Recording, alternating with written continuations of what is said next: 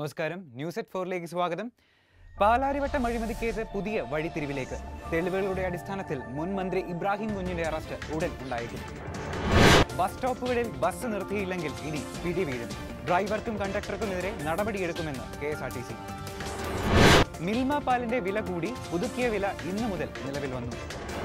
Maradu flat case supreme കോടതി കാലാവധി നാളെ അവസാനിക്കും. ഗതാഗത നിയമലംഘനം ഇന്നു മുതൽ പരിശോധന. പിഴത്തുക നേരിട്ട് ഈടാക്കില്ല കേസ് കോടതിക്ക്. വാർത്തകൾ വിശദമായി. പാലാരിവട്ടം അഴിമതി കേസിൽ മുൻ മന്ത്രി വി കെ ഇബ്രാഹിം കുഞ്ഞിനെ തെളിവുകളുടെ അടിസ്ഥാനത്തിൽ അറസ്റ്റ് ചെയ്തേക്കും.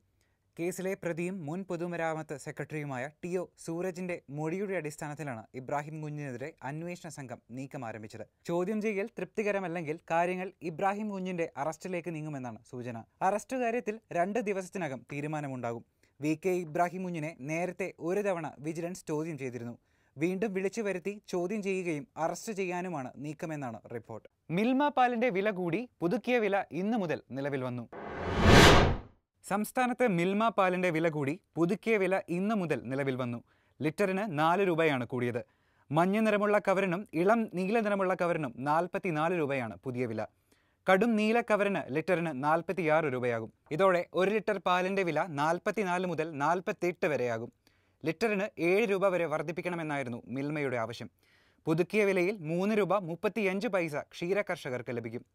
പുതുക്കിയ വില രേഖപ്പെടുത്തിയ പാക്കറ്റുകൾ ലഭ്യമാകുന്നതുവരെ പഴയ വില രേഖപ്പെടുത്തിയ പാക്കറ്റുകളിൽ പുതിയ വില പ്രകാരമാകും വിൽപ്പന. മരട് ഫ്ളാറ്റ് കേസ് സുപ്രീം കോടതി കാലാവധി നാളെ അവസാനിക്കും.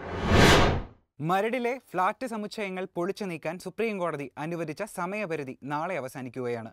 ഈ മാസം ഇരുപതിനകം മരടിലെ ഫ്ളാറ്റ് സമുച്ചയങ്ങൾ പൊളിച്ചു നീക്കി റിപ്പോർട്ട് നൽകാനാണ് സുപ്രീം കോടതി സംസ്ഥാന ചീഫ് സെക്രട്ടറിയോട് ആവശ്യപ്പെട്ടത്. സമയപരിധി നാളെ അവസാനിക്കാനിരിക്കെ ചീഫ് സെക്രട്ടറിയുടെ റിപ്പോർട്ട് ഏത് വിധത്തിൽ വേണമെന്ന കാര്യത്തിലാണ് ആശയക്കുഴപ്പം തുടരുന്നത്. അതേസമയം ഒഴിപ്പിക്കൽ നോട്ടീസ് നിയമാനുസൃതമല്ലെന്ന് ചൂണ്ടിക്കാട്ടി ഹൈക്കോടതിയിൽ കഴിഞ്ഞ ദിവസം ഹർജി നൽകാനായിരുന്നു ഫ്ളാറ്റ് ഉടമകളുടെ നീക്കം. എന്നാൽ മരട് കേസിൽ ഇനി യാതൊരു ഹർജിയും സ്വീകരിക്കരുതെന്നാണ് സുപ്രീം കോടതി നിർദ്ദേശിച്ചിരിക്കുന്നത്. ഫ്ളാറ്റ് ഉടമകളുടെ അഭിഭാഷകർ തന്നെ സംശയം പ്രകടിപ്പിച്ചതാണ് ഹർജി സമർപ്പിക്കുന്നത് വൈകാൻ കാരണം.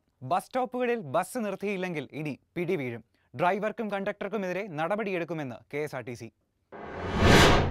അംഗീകൃത സ്റ്റോപ്പുകളിൽ യാത്രക്കാർ കൈ കാണിച്ചാലും നിർത്താതെ പോകുന്ന K S R T C ബസ്സുകളിലെ ഡ്രൈവർക്കും കണ്ടക്ടർക്കുമെതിരെ ഇനി കർശന നടപടി. ഇത്തരക്കാർ കുറച്ചേയുള്ളൂവെന്നും അവരെ കൂടി തിരുത്തൽ നടപടികളും തുടർ പരിശീലനവും നൽകി സേവന തൽപരരും ആത്മാർത്ഥതയുള്ളവരുമാക്കി മാറ്റുമെന്നും ചെയർമാനും മാനേജിംഗ് ഡയറക്ടറുമായ എം പി ദിനേശ് അറിയിച്ചു. പതിനാലിന് Thiruvananthapuram Moolamattom limited stop fast പാസഞ്ചറിൽ Kottarakkara വരയ്ക്കലിൽ നാല് വിദ്യാർത്ഥികളെ കയറ്റാതെ പോയതും പതിനാറിന് തിരുവനന്തപുരം വെടിവെച്ചാൽ കോവിൽ ജംഗ്ഷന് രണ്ട് സിറ്റി ഫാസ്റ്റ് ബസ്സുകൾ കൈ കാണിച്ചിട്ട് നിർത്താതെ പോയതും സംബന്ധിച്ച പരാതികളെ തുടർന്നാണ് സി എം ഡിയുടെ മുന്നറിയിപ്പ്.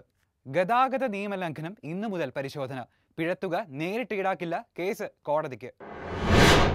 സംസ്ഥാനത്ത് ഗതാഗത നിയമലംഘകർക്കെതിരെ ഇന്നു മുതൽ വീണ്ടും നടപടി. പിഴത്തുക നേരിട്ട് ഈടാക്കുന്നതിന് പകരം തുടർ നടപടി കോടതിക്ക് കൈമാറും. നിരീക്ഷണ ക്യാമറകളിൽ പതിയുന്ന കേസുകളും ഇങ്ങനെ തന്നെ.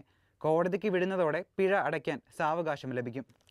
മോട്ടോർ വാഹന നിയമ ഭേദഗതികൾ സംബന്ധിച്ച ആശയക്കുഴപ്പം പരിഹരിച്ച് ഉടൻ കേന്ദ്ര തീരുമാനമുണ്ടാകുമെന്ന പ്രതീക്ഷയിലാണ് സംസ്ഥാന സർക്കാർ. മറ്റന്നാൾ മുഖ്യമന്ത്രി ഉന്നതതല യോഗം വിളിച്ചിട്ടുണ്ട്. ഇതോടെ ഇന്നത്തെ ന്യൂസ് അറ്റ് ഫോർ ഇവിടെ പൂർണമാകുന്നു. നമസ്കാരം.